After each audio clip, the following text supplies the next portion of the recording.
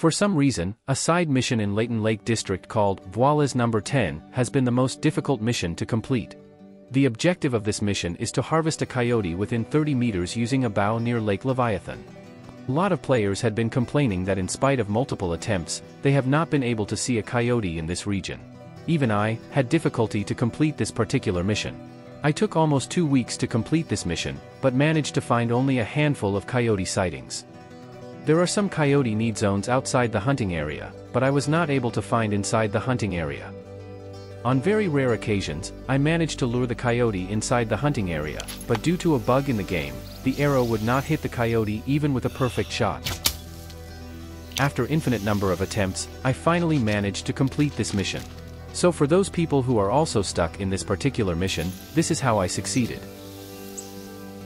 I chose to hunt this particular area, because it was close to the feed zone in my map, which would help me to lure the coyote towards me using a collar.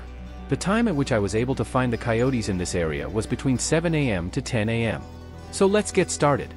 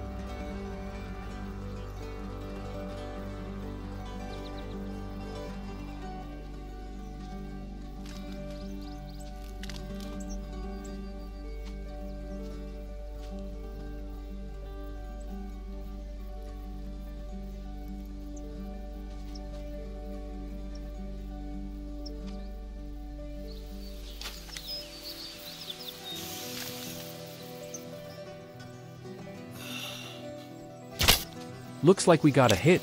Let's go and check it out.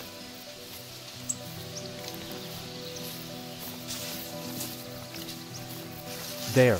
It was not a vital hit, but I managed to hit it somehow. Let's follow the tracks and find that coyote.